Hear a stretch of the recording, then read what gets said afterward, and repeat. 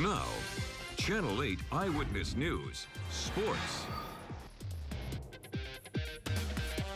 It's semifinal Friday at the Girls State Basketball Tournament. Peter Terpstra joins us live from Pinnacle Bank Arena with more on the Lincoln Northeast game tonight. Hey, Pete. We know we have one Class A, or we know of one Class A team in the finals, and that is the Cinderella story, Norfolk, who uh, beat Omaha Benson, the returning champs, in the first round, and then they beat Bellevue West by double digits tonight. So the Panthers making a run at their first state title in the finals. Right now, Lincoln Northeast, Omaha West Side wrapping up behind me. Let's get to those highlights. We're going to pick up things in the first quarter. Fans were filing in to Pinnacle Bank Arena to check this one out. Jamie Holster, the hero from the last game, hits a three, and the Rockets are up six to three.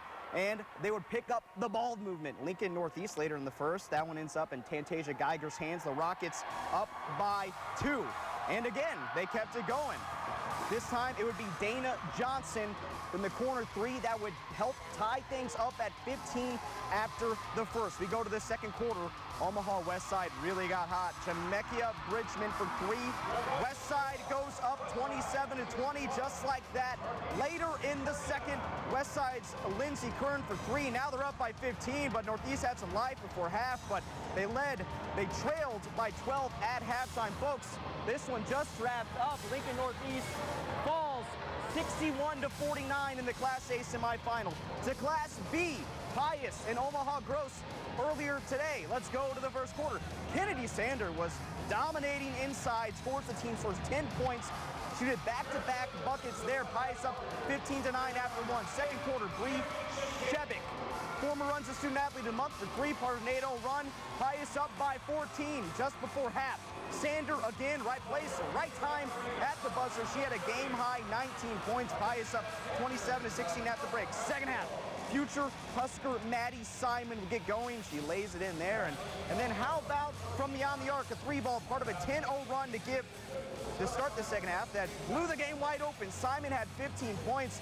Pius is advancing to the state title game 54 to 29 just relaxed. I think everybody had a rough go yesterday. Most every most most of the team started off a little slow. So and uh, the kids did a great job of executing the game plan. Really, they really played well today.